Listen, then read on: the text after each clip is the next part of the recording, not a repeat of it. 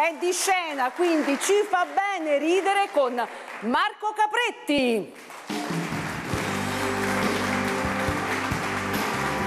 Eccoci qua, Grazie, caro grazie. Marco. Buonasera.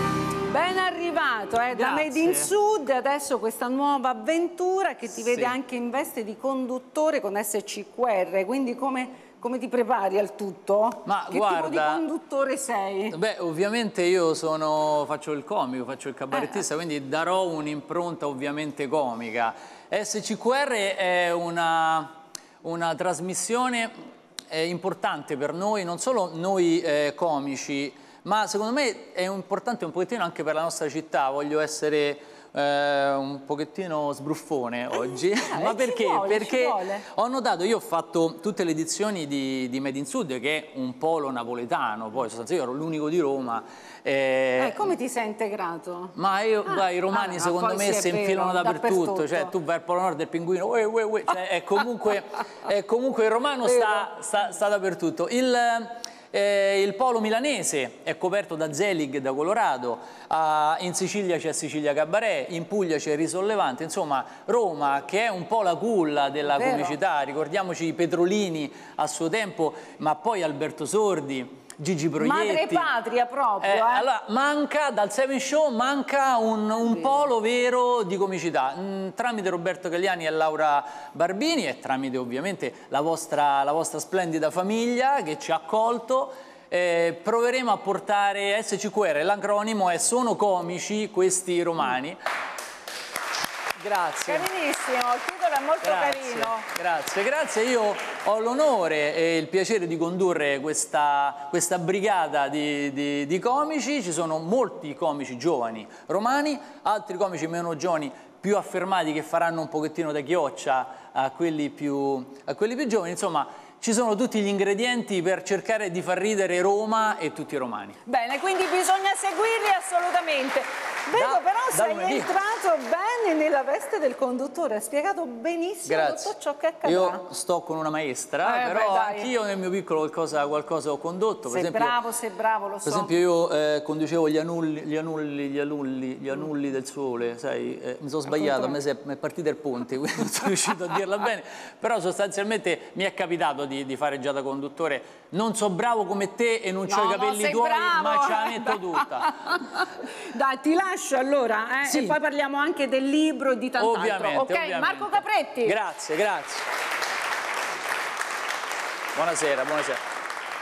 Allora io eh, vorrei, a parte SCQR, parlarvi di una cosa proprio mia che ci tengo tantissimo e quindi voglio coinvolgere anche un pochettino il pubblico con una confessione. Io non sono qui solo per eh, parlare della mia trasmissione, ma anche della mia- del mio stato personale. Volevo dirvi a tutti quanti che sono fidanzato. Grazie. Grazie. Però mi sono fidanzato un po' all'insaputa, sai quando ti fidanzi ma non ti sei accorto perché? Cioè, tipo che ha fatto tutto lei. Io dopo un mese di fidanzamento mi sono accorto che ero fidanzato, perché questa non andava più via di casa. Gli ho fatto amore, ma scusa, non dovevi andare via? Dice no, ma io mi trovo tanto bene, sembra pure a te casa tua. No, questa è casa mia. Dice, ma io qui ho tanti ricordi, ecco, te ne aggiungo uno, perché non ti ricordi di andare via? Mo, grazie. Me ne dovevo accorgere prima perché lei a cena non si è presentata che i pastarelle ma con 10 trolley. Tutti pieni di mutande.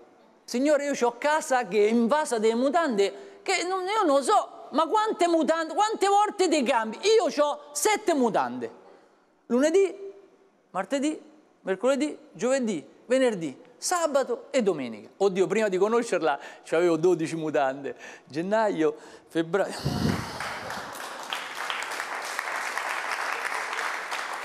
Vabbè.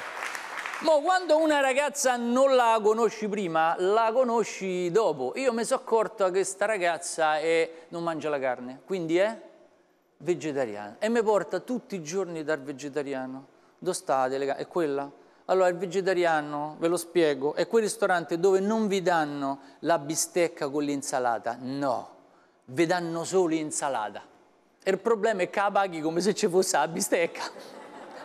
Mo io sono andato al vegetariano, ma io non sono vegetariano. Quando mi sono presentato il metro aveva già capito, quindi mi ha puntato subito a me, è arrivato con tutta una camminata da vegetariano, i capelli vegetariani, si è presentato e mi ha fatto lei è vegetariano? So capretti. Bene, questa sera lo chef vegetariano voi, voi, battete le mani perché siete carini ma non sapete quello che mi aspetta. Mi fa lo chef vegetariano, propone come antipasto un trionfo di carote, un trionfo di zucchine e un trionfo di melanzane. Ho fatto ma una sconfitta da bacchio.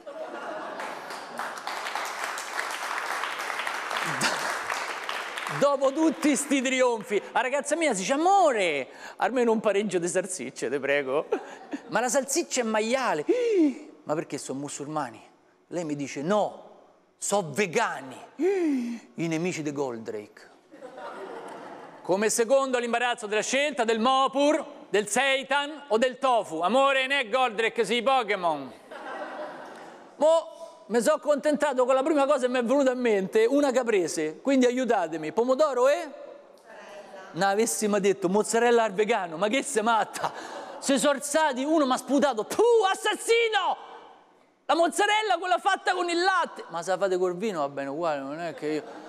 Tu non sai, senti che mi ha detto, eh? non sai quanto soffrono quelle povere mucche quando vengono munte.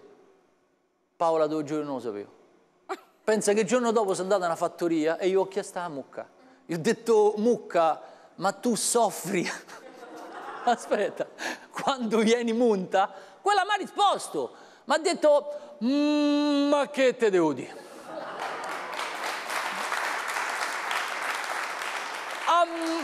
a, me mi piace pure, ma tutto il giorno ti tocca ne dette, nessuno ti dà una bottarella e quella la sofferenza.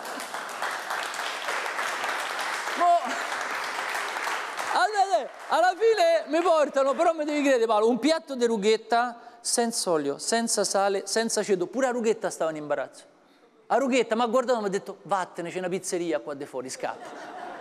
E faccio amore, ma scusa, ma sopra sta rughetta non c'è sta niente, perché tu sulla rughetta che ci volevi sopra? I straccetti ci voleva sopra la rughetta, ci stanno bene messi così. Mi dice no, sulla rughetta lo sanno tutti che c'ho un goccio di limone, perché il limone sulla rughetta è la morte sua. No, è la morte mia che c'ho fame. Perché qui c'è il momento più bello, perché vi fa capire la mia ragazza. Io le faccio, amore, andiamo a casa subito, chiediamo il conto perché ho lasciato della bresaola in frigo, occhio, eh. Lei mi fa, che bresaola mai sono mangiata io? Ti sei mangiata la bresaola? E certo, è che vengo dal vegano a stomaco vuoto. Marendo. A marendo. Chiudo col metre che ritorna sempre più vegetariano con i pedalini vegetariani e i mutanti vegetariani, arriva col conto, fa allora il conto sono 200 euro, vi offre la cena? eh, scusa, vi offro il caffè? Io faccio, no, 200 euro, mi offri la cena al limite. Lui mi fa, ma no, noi qui abbiamo il caffè senza caffeina, il tè senza teina e il latte senza lattosio. Ho fatto pezzi tutto il portafoglio senza i soldi. Grazie. Bella, bella, bravo Marco. Vengo da te. Bravo, bravo, bravo. Eccoci. È vero, sta diventando un problema eh, l'alimentazione. Assolutamente, l'alimentazione diventa un problema soprattutto se c'hai la ragazza vegetariana. Eh. Capito? E nel mio caso lo è. Io vi racconto un sacco di cose sulla mia ragazza seguita SCQR. Vere, vere. Senti, hai scritto anche un libro, eh? eccolo qui, ce lo sì. porta il nostro Alessio De Carolis, benissimo. Alessio De Carolis, grazie. Come, come c'è il libro mio, scusa, detto, lo eh, sei, beh, qui... sei comprato? No? Abbiamo tutto. Allora, facciamolo vedere in camera, ma come si riproducono i puffi? Ma sì. pensate. Allora, e come mai? Ah, ma io ero indeciso tra un titolo tipo Le ultime lettere di Jacopo Ortis o La metamorfosi del Kafka. Ho scelto Ma come si riproducono i puffi, che mi sembrava certo, più alto. È quasi uguale. Mi sembrava più alto. Sostanzialmente non è altro che una delle tante eh, delle tante domande strane che si trovano in rete. Ah, è vero. Cioè io sono andato a cercare questi siti, questi portali. Eh, perché tu vai sempre un po' alla ricerca, vero? Sì, sì, eh? della rete sono un po' uno specialista su queste cose e mh, le domande più strane le ho raccolte per categoria dentro un libro ce ne stanno certe fantastiche. No, stavo leggi, leggendo leggi, questa, leggi è carinissima. Questa. Ma Marco Carta è il figlio di Riccardo Fogli? Sì, e Giovanotti è il figlio di Vecchioni. questa è una delle tante.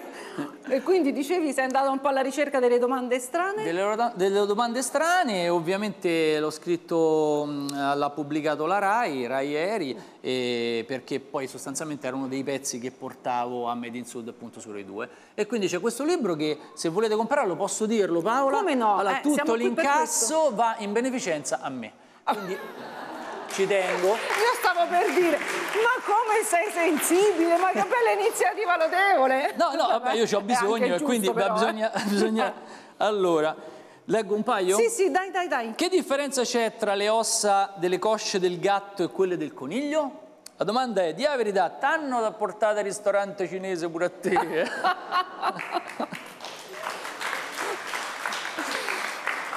Come faccio a dire alla mia ragazza che sta diventando troppo cicciona? Ecco, lascia sta. Non te impicciare perché come dici sbagli. Invece gli ha risposto un fenomeno, penso uno dalla banda della Magliana, perché ha detto prova con una gentile frase ad effetto del tipo Amore, ma te sei accorta che ti stanno attillati pure ascensori? ah, questo... Questo io penso sia un turista, questa fa ridere solo a me, però la faccio uguale. Questo è un turista che chiede dove sono i locali spagnoli a Roma? O sai, hanno risposto a Piazza di Spagna. Giustamente, eh? il nesso ah, c'è. Questo è un bambino, un bambino che già è fenomeno, fra un po' diventerà campione. Lui dice, se è la mucca di mio nonno gli do un po' di cacao, poi me lo fa il latte al cioccolato? già si vede che... Però il problema è che ha risposto uno che già fenomeno è. E gli ha detto, e me sa di no. Io è un mese che sto da farina al maiale, oh, mica mi ha fatto i panini col salame.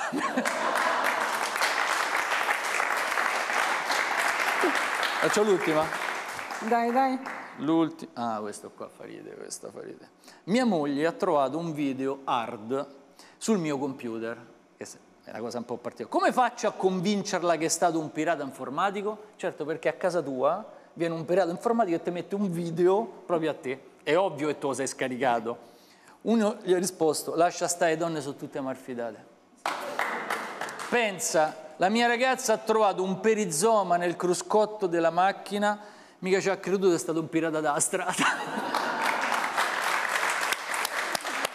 Allora. Marco Capretta, lo facciamolo rivedere, ecco qua, ma come sì. si riproducono i puffi?